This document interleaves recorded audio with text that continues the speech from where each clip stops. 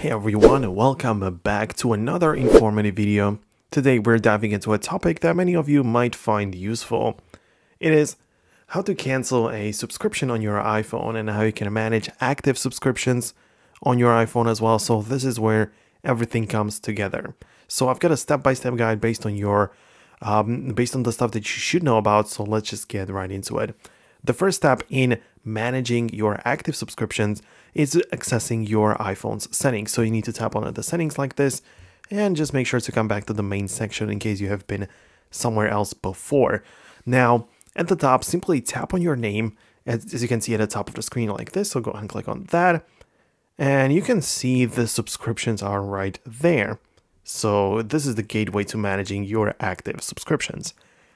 So once you're in there, make sure to navigate to the section right here. And QuickTap will give you the option to set up and view the world of all of the stuff on all of the active as well as inactive subscriptions. It is a central hub where you have control over what services you are currently subscribed to. So as you enter the subscription menu, you'll be greeted with a comprehensive list. This list neatly categorizes your subscriptions into active and inactive ones, providing a clear overview of your current commitments. Understanding that uh, that you're subscribed to is crucial step to canceling process or managing it. So as you can see, I have only one thing, which is the inactive. If I had something else, it would be part of the active folder, but for me, it is only Snapchat Plus monthly plan, which has already expired. So you can manage all of the active right here. For me, it's inactive, so the only option is to renew it for 50 cents a month. Again, so this is mm, the possibility as well, but you can also see other plans right here. So you can choose a different one based on the app, of course, and then the uh, developers and everything. But you can also find, in case you have any active subscriptions, you will be also be able to find them in the list. So you can tap on them and cancel it with the cancel button. So it is very easy.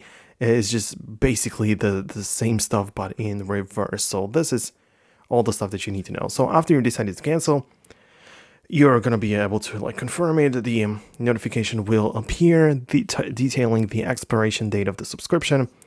The expiration of cancel subscriptions can be immediate or set for a later date, depending on the specific terms of the subscription. It is crucial to pay attention to this, this detail to avoid any unexpected charges in the future. So there you have it guys, this is how you can manage your subscriptions and how you can cancel them on your iPhone.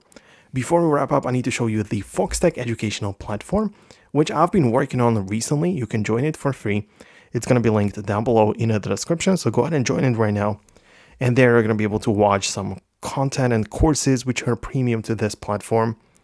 So for example, I have the full video editing guide for Adobe Rush. There's more stuff coming in the future. And like, for example, I have the full in-depth dynamic island course in case you have an iPhone with the dynamic island make sure to watch it.